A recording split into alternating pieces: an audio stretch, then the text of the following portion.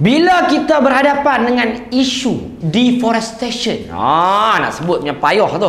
Deforestation ni ramai orang bising ah, rumah banjir ni, ayak di sana, binatang masuk dalam kawasan town lah, apa benda habitat terganggu apa semua. Tapi kita jangan lupa satu perkara. Yang mana macam mana pula dengan alam sebelah? Yang daripada kata orang bunian yang duduk harimau jadian di dalam hutan ada barang tu hantu galah hantu semua dia pergi mana? Takkan rumah dia hanyut dia mandi ya tu macam seronok yang dia layak tu dia tak ada apa. Ha jadi tak ada wakil. Nak bercakap daripada pihak depa ni. Dah hantar email pun tak boleh nak buat petition pun orang lari. Ketahuilah anda yang berada di rumah sebagaimana anda terancam dan merasa kesan daripada deforestation tadi samalah juga dengan barang-barang yang anda tak nampak. Anda bayar bayangkan satu habitat dia yang elok di sebalik mata, yang indah, yang hijau. Tiba-tiba, oh, beranak. Balok mai beranak. Habis tu tempat-tempat dia. Lagi satu, saya bagi tahu kat anda. Anda kena ingat, satu ketika dulu, orang-orang menanam barang-barang yang mereka nak pulangkan ni, mereka tanam di dalam tanah.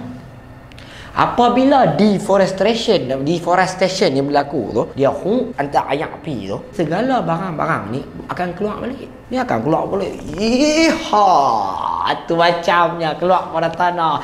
Finally, terkembang. Jadi macam tu lah.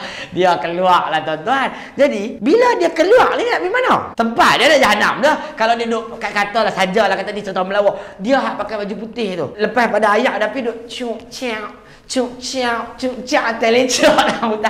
Kotaklah baju. Nak basuh kena dobi, kena pergi di town juga.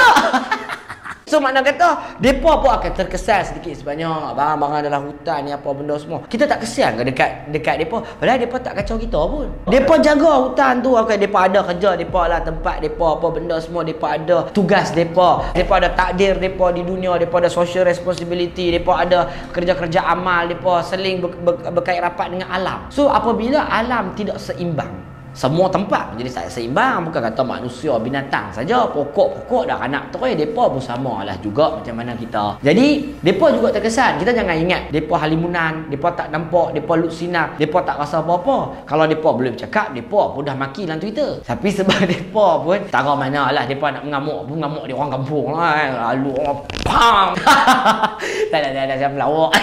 Dia kira macam tu lah lebih kurang macam tu. Tapi depa terkesan. Nah jadi kita kena fikir sama lah sebab itulah kita kena menghormati alam sekitar ni sebab apa? Alam ni adalah tempat dan juga habitat macam-macam jenis makhluk yang diciptakan oleh Tuhan. Sama ada nampak maupun tak nampak. Jadi kita kena sama-samalah bertanggungjawab untuk memulihara alam kita ni supaya jangan jadilah di masa depan sebab apa esok ni hutan-hutan ni semua merupakan amanah. Amanah yang telah pun ditinggalkan kepada kita oleh tok-tok nenek moyang kita dulu. Takkan kita nak anak-anak kita semua tak biasa tengok rimau, tak biasa tengok binatang gajah apa semua disebabkan oleh kerakusan kita. Terlalu mengejar kemodenan apa semua. Apa lagi yang kita bukti yang kita mahukan sehingga kita akan berhenti dan mula menyelamatkan alam sekitar. Bumi yang tiada rimba saumpama hamba. Dia dicemar manusia yang jahil kentawang